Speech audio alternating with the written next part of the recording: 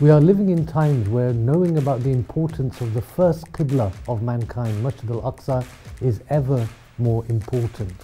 That's why we are inviting you to attend our special screening of One Night in Al-Aqsa taking place on Monday the 2nd of September.